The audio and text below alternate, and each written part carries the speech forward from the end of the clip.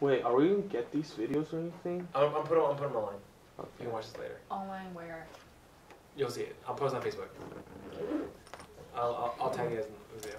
How? Oh, did you restart? You're wasting feeling what? I was asking how, how strict things are in terms of like, I guess talking about Christianity. I know Virginia is very, uh, I don't know if it's paranoid, if she's being very cautious about it for like chatting, emails, even Skyping. Um, yeah, she's very if, cautious if, about if, it. if it's electronic, you basically just don't want to do it. Okay. So I'm trying to avoid as much as possible. Um, and also, and, I mean, here's here's I the heard- tip. Uh, I guess Melissa told me it's like it's not that bad, especially in Shanghai, because international people. But I don't know. I it's, it's not it's not a big deal until it is a big deal. Makes right? sense. Yeah. It's not it's not a big deal until you get arrested and they pull up your phone records and they pull up your email records. Right. right? Then it's a big deal. But if you, if you never get caught, yeah, it's no big deal. No one's ever gonna know, right? But but it's that one time where you do get caught, right, where it also becomes a huge deal because it's not just you yourself; it's everyone you emailed, right? Yeah. Does that make sense? Right? If, I, if I'm trying to catch a crook, what, what do I do? Check the email records and everything they contacted, right? And then and then, I, ma- I match up when they contact each other and then what I think their professions are too. You know what I'm saying? That's why it's a big deal. I see. Look, the worst that can happen to you is you get deported. The worst that happens to them, they get thrown in prison, right? They can get executed, you know, like they can. Right? The mayor of Shanghai was executed a few years ago. Yeah. Yeah, for corruption. Him and his entire cabinet got executed. It's not a joke, man. America is like this fake land, okay? The rest of the world's not freaking joking around. What up? Since I'm a U.S. citizen now, I'll get just get deported, right? Not get Like, executed. do you hold dual citizenship? No. Okay, you're fine. Okay, ready? Yeah, ready? it sucks for you. Okay. I know. She will get executed. That's just what I was curious about. What's executed? Don't worry about that. I don't, I don't want to know. Let's go! yeah. Everyone, Guillotine. All right, let's go. I got okay. I'm trying. I'm trying. I'm trying to say a signal for my my camera so I know when I can edit. You sure it's not shooting No, it's His not. head. it's above? Or, if, if, mm-hmm. flip, flip that. Flip the LCD around so I can see myself. No, we're good. See? George, that? George's head. George. Okay. I'm gonna come on the ground so I can. I know when to edit. Welcome everybody to missions training at Harvest. Snow, what are you doing? I took it. This is the worst day of my life. Uh, This is the worst day of my life. It's on tape now too. can we just keep the raw video? No. I hate you. I hate all of you. Hate is a What strong else? word. You have it good, George. See, 150 for you is 10%. 150 for me is, is 5%. Not, not even 5%. I think it's like 4%. Your friends are older, okay? So you actually have it My easier. friends are a little older, so I guess you're a little 150, for me is 50%. I guess so. Wait, 100%. Everyone, stop! We're done with this conversation. like Ready? Hey, you ready? Ready? Ready? Welcome everybody to Business Training at Harvest. Today we will be talking about Hudson Taylor. All right, Hudson Taylor. I think if you're if you're if you went to church in China, Snow should know. He's famous. He's a famous missionary to China, Hudson Taylor. I don't know what his Chinese name is. What is his Chinese name? Hudson Taylor. No. Hudson? Yeah, yeah, something like that. Okay, but we're gonna learn about mission missions history because you guys need role models. All right, and because I'm too young to be a role model, I'm gonna show. Too Virginia's way too young to be a role model. Uh, I'm gonna show you guys some from history. So, Hudson Taylor. He's famous because he's one of the founders of the. I spelled founders wrong. Fondus. Founders of the what movement? Do you guess? Probably can't guess. Oh, wait. Tri- the, No. Faith missions. Okay, I'm gonna explain, explain what that is. What is the difference between faith missions and not faith missions? All right, because shouldn't all missionaries have faith? Before before Hudson Taylor, um, all missionaries are pretty much sent out by their churches or denomination boards. Example, we, we still have non-faith missions, and this is not it's not like they're not they're not faith. All right, it's just the name of the movement. So the Southern Baptists today, they're not a faith mission. The, the, because the way the Southern Baptist Convention works is that every church in the, in the, SBC, you give money to the mission fund, right? And then because they have, they have money in the mission fund, they hire missionaries as employees, just like we would hire a pastor. And pa- so pastor doesn't really support, obviously. He just goes to work and he gets a paycheck every month. Southern Baptist missionaries do the same thing because they get money from the, from the missions fund. Once you get hired as a missionary for the Southern Baptist, then you just get paid. You don't have to raise support. So re- Hudson Taylor first started out as one of those. He started out as one of the one of uh, London evangel- evangelical evangelization society's missionaries. But then when he got to China, he realized that it wasn't it didn't work out very well. Part of the reason was is because um, those missionary societies in early England they would go into debt. Right? They, they actually would go into debt, and sometimes so sometimes their funds wouldn't come in. And so when the funds didn't come in, Hudson Taylor wouldn't get paid. Wouldn't get paid. So there were there were like months in Shanghai when he was in, in China where he wouldn't get paid. So he still had to pay rent, he still had to get food, he still had to get all that stuff, but he wouldn't get a paycheck, right? And so it was really erratic, and it was really really hard on his life. And these fellows like it was really disorganized, and so um, when after his first term in China, he came back to to England and decided to look, we're going to do faith missions, right? Faith missions believe in that. If you can write this down, God's work done in God's way will never lack God's supply. God's work done in God's way will never lack God's supply. And it's this idea of that if God has called you to be a missionary, God will always, always provide for the work, right? And that a missionary society doesn't have to go into debt because God will never put his workers in, into debt, right? Because God is never in debt to anybody. So the whole idea of faith missions basically then is this: there is no cap of how many employees we can have. Okay, if you have a denominational board, obviously you do have a cap. It's once that money runs out, then you can't hire more missionaries. But Hudson Taylor's philosophy basically is then, is this: if you're called a, if you're called a missionary, we'll take you, raise your own support, and then that that will also validate the fact that you know you're called called a missionary. Okay, um, that's pretty much what we do at Harvest now too, right? Harvest will give you a third, but you have to raise the other, other two third of what you of what you need to to get there. Basically, believing that if God has called you there, He'll help you to raise support to get there. I mean, I obviously I work for OMF, which is founded by Hudson Taylor. I've raised support now for three years. You know, and because I believe God's called me to do this job, and so now I do this. So the whole idea of faith missions is what helped missions really, really expand and grow in the 1800s. It's because before then you had a cap on how many, how many missionaries you can have. Because pretty much if people didn't give to the mission fund, then you couldn't have missionaries. But with faith missions, all of a sudden it's like, if you feel called to be a missionary, do it. We'll take you, as long as you raise, raise your support, right? So it's having faith that God is, is bringing this missions movement. So this is important because some personal values Hudson Taylor held for himself. One of them, we already said it, is faith. All right? Let me tell you a story about Hudson Taylor, an example of that. Um, one of the ways he practiced faith before he even went to China is that he was a doctor in, in London. One of the things he wanted to do when he, when he was young is that he wanted to trust God in London because he knew it would be harder to trust God in China, obviously, because it's a foreign country. And so when he, when he worked as a doctor, um, he, his employer was very forgetful. Like he wouldn't, sometimes he wouldn't get paid on time. And so um, he made it a point that he would trust God to remind his employer to pay him on time, and he would never he would never remind his um, his boss himself.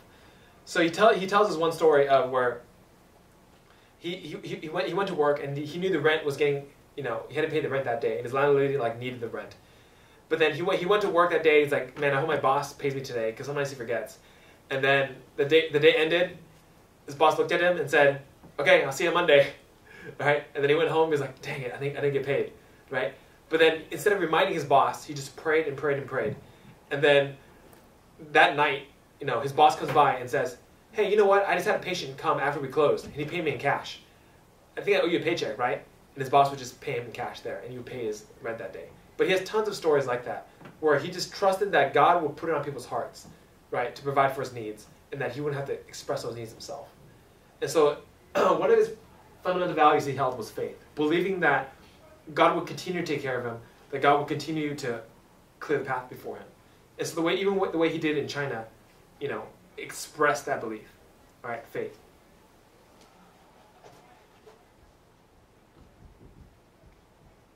Holiness is the second value. the reality is, not not every missionary is super holy and super worth imitating. Um, if you know the history of China, right, and especially with China and England, you know you would know that you guys know about the, the treaty ports and like the opium wars. Mhm. Okay, everyone knows the opium war. Okay, so if, if you if you think about if you're an English person, how do you view China if you just destroy them in a war and you basically open up their ports as as parts of the treaty, the end of the war, right? You're basically looking at something as kind of an inferior country. All right, we do we can do that in the U.S. too. It's kind of like how the U.S. treats Mexico and Canada. Right, it's not it's not as bad. It's not as bad, but it's like Mexico more than Canada. yeah, Mexico more than Canada. But like in a lot of ways, like you kind of abuse your relationship a little bit, right? But but England, like the attitude toward Chinese was very like we're better than you, and so missionaries group in that culture too, right? Just because you're a missionary doesn't mean you're devoted to your culture. So even when missionaries went to China, they would live in their own missionary compounds, which were a lot bigger than um, like average Chinese places. If you go to when you go to Shanghai this this summer, you guys will see some of the some of the European built areas look a lot better, and they're st- they're they're still up, right? Because they're historic landmarks because they're so nicely built. And a lot of the Chinese built stuff is like gone. It's like demolished, and then they put like you know apartments and stuff above it now. But when Hudson Taylor got to Shanghai, he realized that a lot of the missionaries were basically like trying to live above the Chinese, and they're they're basically like really lazy and self indulgent, right? Because they have not a lot of supervision, and then you know it was nice living. Uh, Hudson Taylor said there was nowhere else in the world where missionaries get treated as nicely as in Shanghai. Which, which kind of makes sense because the missionaries, some of them worked closely with the British government. It was very political, you know, so they get a lot of favors. So what Hudson Taylor, what Hudson Taylor was known for is also his holiness. That he separated himself out from things that were just super indulgent, right? That were just selfish, that were kind of self-exalting, things that would just build himself up, right? Holiness is the idea is that you set yourself apart from God. And that's what Hudson Taylor did. Everything in his life, he set himself apart for God. A story of that. when he was still in England, you know, he was like you know, 17, 18 years old. And what do 17, 18 year olds do? They find girls. And so he was introduced to, to this woman that he was actually um, engaged to twice. And, but he broke off the engagement twice. Because um, the, the woman he was engaged to had no interest in, in China. And she thought that it was just a kind of a passing idea, like some like boy's dream for Taylor, right? But obviously it wasn't for Hudson Taylor. But I, and he really, he really loved her, and he really wanted to be with her. And they were engaged twice. They got together, realized it couldn't work, broke it off, and then got together again, and then broke it off. But then he did that because he realized that his passion was to serve God and not just to get married, right? So that's characteristic of his life.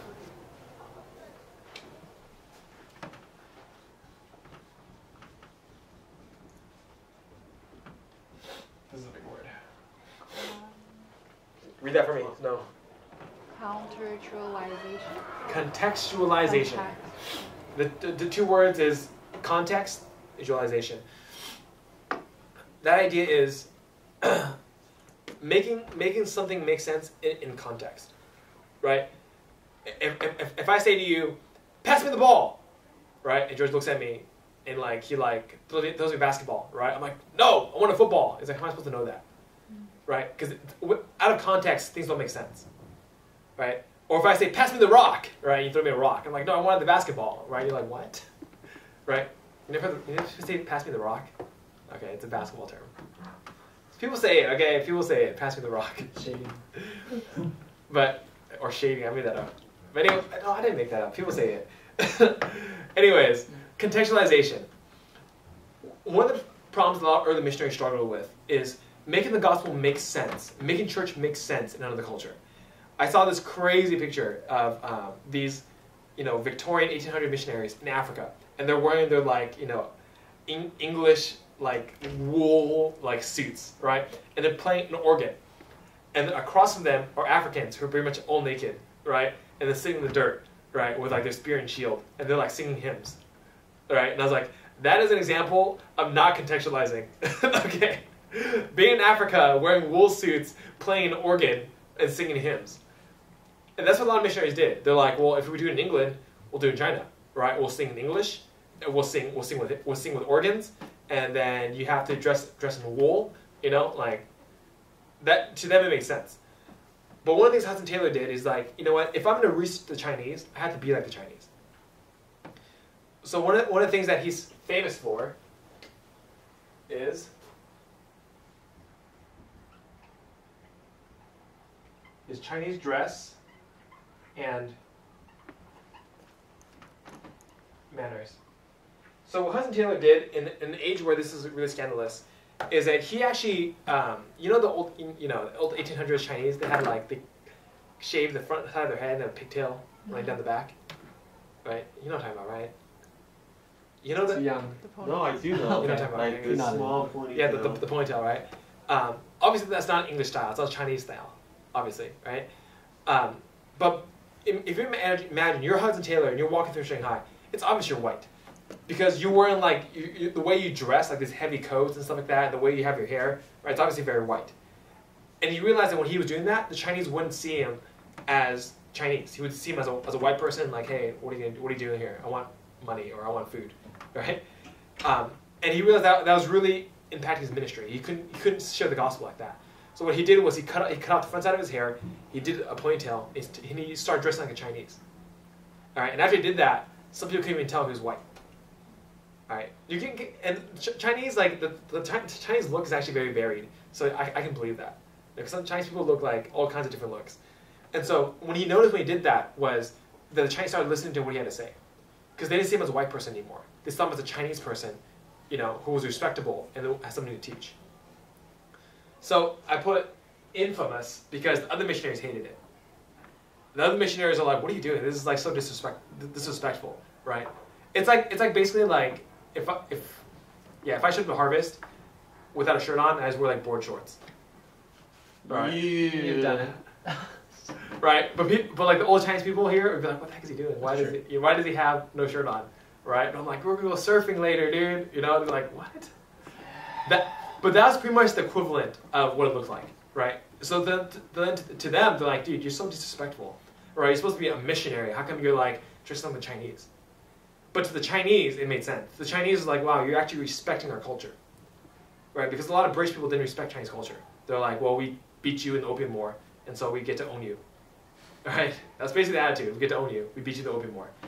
But Hudson Taylor took on Chinese dress and manners to respect the Chinese, all right? To validate their culture and become one of them. That's one of the things Jesus did. Did Jesus come with like angel wings, right, and like his full glory with like a host of angels behind him? He came as a carpenter and he was ugly. okay, and he was probably dirty most of his life and he was poor. Foxes have holes, birds have nests, but Son of Man has nowhere to lay his head. I mean, Jesus was homeless. All right, he didn't have to be that way.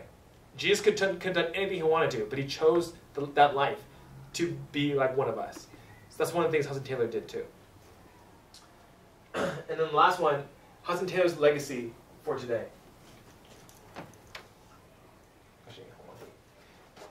The missionary society that Hudson Taylor founded was called CIM. Alright, C- CIM stands for China Inland Mission because um, though he started out in Shanghai, he didn't stay in Shanghai. He realized that there were actually a lot of missionaries in Shanghai and that the parts that were not reached were the inland of China. And so when he went back um, to England to recruit other missionaries, he recruited two missionaries for each province, right? Because at that time there were, there were 12 provinces in China. Um, and then from those initial group of 24 missionaries, he founded the China Inland Mission. But in the late 1940s, you guys know about World War II and communism. All the missions got kicked out of China. So CIM could no longer be CIM, obviously, right? And so one of the things that they decided, like, look, do we then stop being a missionary agency, or do we change what we do? CIM decided that they're, they're going to change, and CIM later became OMF, which stands for Overseas Missionary Fellowship. From after 1940, O- OMF was founded to not just reach China, but all of East Asia. Right? East Asia basically comprises of like Thailand, Vietnam. We don't go as low as India. We don't go as high as as Russia. So pretty much the East Asian sector. At one point in um, at one point under CIM, one, one out of every four missionaries were CIM missionaries. Right? That's how that's how big CIM was at one point. Right, one out of every four missionaries going overseas were CIM. And then what's up? Was CIM like worldwide or like English or like American? So, so CIM, their missionaries were all over, the- like from the Western world. So from, there were missionaries from Canada, Australia, England, like France, and all them Yeah. So they had to travel by boat, right? by boat. Yeah. So it was like months and months journey. Yeah, it was hard times back then. Okay, applications from what I just taught. Okay, um, and why I bring up Hudson Taylor. Hopefully, there's some things you can you can learn from his life, right? Number one, the idea of faith missions. Now you guys know why you raise support. We can do this a lot of ways, right? We can, we can, we can do this a lot of ways. I know a lot of you have, have parents or whatever, or you know, ways of making money that you can make your own money just go try to yourself. You can't, right? I, when I first started, I'm like, look, I, I make tons of money. I can just do this myself. When you do that, though, two things happen. You're not just raising money, but you're also helping the church become invested in missions. Right? The things you spend money on, money on, are the things you're invested in, you care about. Right? Like I, I don't, I don't like. I lock my car for a reason, because I spent money on my car and I don't want my car to get stolen. Right? The things I put money in are the things I care about, the things I want to succeed. When people invest in you and your missionary journey, they want to see you succeed because they gave you money. Right? It gives them opportunity to be part of your life. That's part of why faith missions exists. That's why I'm not there to ask people for money because there's a chance that I to Okay, but we'll talk. That's your your own different story. But for you guys and for Virginia and for anyone else who wants to be missionary, that's one of the things I always say, right? Is that you can test for people to invest in what you do. The reason I've been able to do my job for the last three years, I've had to raise like tens and tens of thousands of dollars from college kids and new young adults. All right, and the reason I've been able to do that is because people believe in the ministry that I do. And I, I'm not even. I'm, I'm here in the U.S. Right? I'm here in the U.S. as a missionary, and they still believe in what I do. Right? It's because they've seen my life over time. Right? And that's and that's what we're trying to do in faith missions. We're, we're sharing our life with people, let them invest in us. Okay? Personal values. This is the kind of you gotta kind of figure out for yourself. All right? And I hope that you guys will write down, especially you, George. Write I this down. Your own personal values. Oh. Okay. Wait, why me? This is for you to grow up as a man. Okay. I am. Not enough.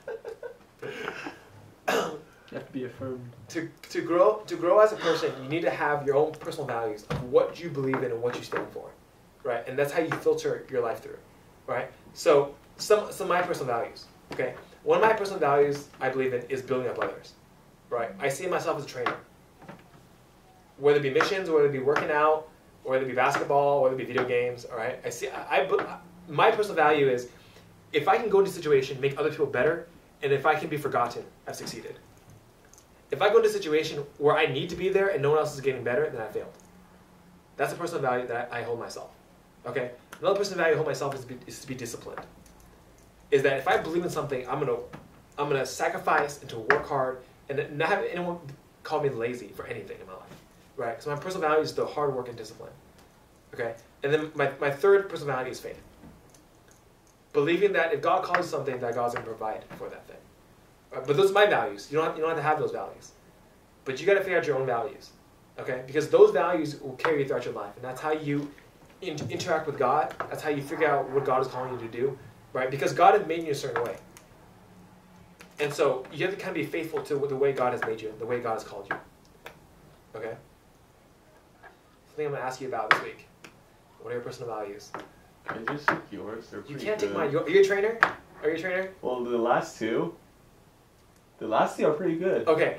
You know why I have faith? Because I pray for things that have been ridiculous in my life. All right. That's how I know God's calling me to faith. All right. That that might not be your value. Wait, even you don't so say discipline. Even I'm not disciplined yet, but can I put that as my value? Or You, like you can, something but you're you're old enough now. You're old enough now. to be that, disciplined. Yeah. No, no. That you already have some things you're good at. I don't Okay. what You know. You know. I didn't say studying. Okay. I'm not good at studying. Me neither. so like some people are. Carmen's really good at studying. I know. Okay, Car- Carmen's really good at administration. That's one of her values, right? Is to be like a support character in the background. That's not my value. I respect hers, but that's not my But personal it could value. be that you are good at you are good at something, but you don't treat them as your values. It could be that all my parents. And th- and build this is a, and this is a chance for you to figure out if I want to make them my value. I'm not naturally dis- disciplined. It's not like I love like man, I really not want to eat ice cream. I really want to make myself hurt. You know, no, I work at it. You know, something you figure out on your own. Infamous, known for. you know, one of the things that, um, as you guys are also writing your support letters and sharing your story, you want to kind of tell people what are you passionate about, right? What do you want to be known for? Okay, this is actually this is actually kind of important. This kind of in our in our age of like YouTube and like all that stuff, right? People get known for a lot of stupid things. But along with the personal values is what do you want to be known for? Right? Like one of the things I, I'm proud is that when people like talk to me, I haven't seen for a long time. What is the first thing they ask me about? Hey, how's Shanghai? What's the last, when is the time you go to Shanghai? All right, who are you training for missions? That's what I want to be known for. I do a lot of other things. Okay, I am super good at WoW. All right, I play World of Warcraft like crazy. All right, I'm good at bodybuilding. Right, I sing and dance and do crazy stuff like that. Right, I don't, I don't want to be known for that. Right, I want when people think about Dave Pat, I want them to think about what I do for God's kingdom. That's one of the things that I want. I hope it comes across when you're sharing your support letters and stuff like that. Is that what are you trying to grow in? What are you trying to learn? What are you trying to become? Seven years ago, I was not known for Shanghai missions. Obviously, I was just starting, but it's something I was passionate about. I kept sharing with people.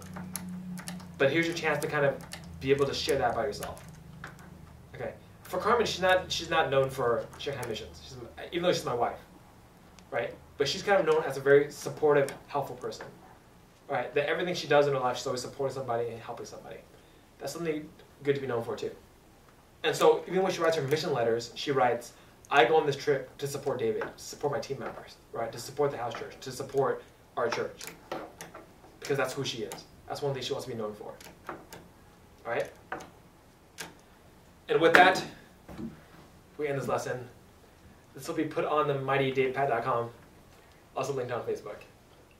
Okay, let us pray. Heavenly Father, we thank you just for this afternoon. We can just learn from your, um, from the people that you've put throughout history, that the people you've given um, your amazing blessings to, that you've led, and that you've called to holiness and to service. God, give us all strength and courage in this room um, to pursue the things that you ha- would have us be passionate about, um, to be able to see you in glory, and to follow after you. In Jesus' name we pray. Amen.